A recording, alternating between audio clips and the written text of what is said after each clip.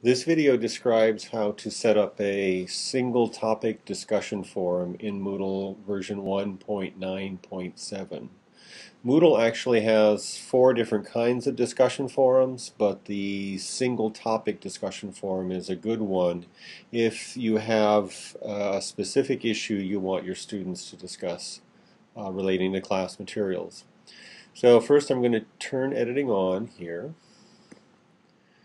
and then you need to go to the particular week or topic where you want to add this discussion forum and select the forum option from the add an activity menu.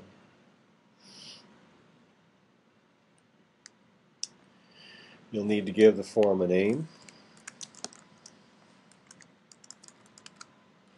And select the type of forum you want to use. Again, for a focused discussion, this single simple discussion is a good option. In this case, what you'll be doing is basically setting up the question that you want students to discuss um, in the forum introduction.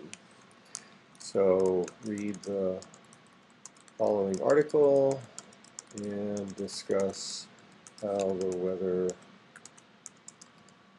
on Mars compares to that on the Earth. I can um, select this text here, click on the link, and instead of linking out to an external website, I will browse to my files and find here's this article on modeling the atmosphere on Mars. Click OK. So that sets up the question. Generally speaking, you do not want to force everyone to be subscribed to most discussion forums. Um, you can, if you would like, set up a grading scheme where you grade each of the uh, postings to the discussion forum, but uh, for now, for this example, we'll just leave ratings turned off. Uh, it can be very complicated figuring out how you're going to aggregate the ratings on multiple posts that a student might be posting to a discussion forum. So again, in this one, I've got a name for the forum. I've got a very uh, straightforward uh, description of the question that the students are wanting to, I want the students to discuss. And here, if I click Save and Display, um, you'll see what the forum looks like. It basically has um, the option here that uh, you know to follow the, uh, the, to read the article and then to discuss the way students would then discuss um, on this article. I won't bother switching over to a student role.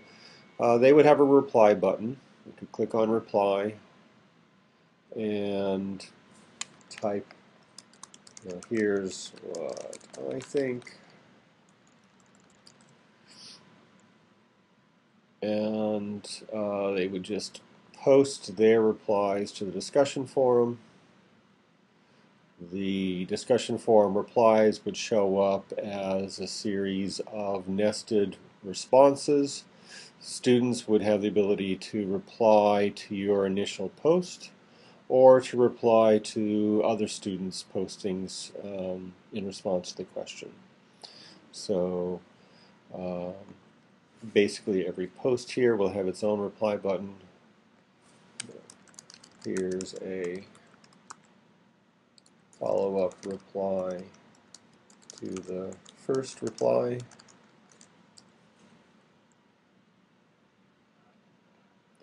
Whereas another student could come in here and by replying to your initial post here's another one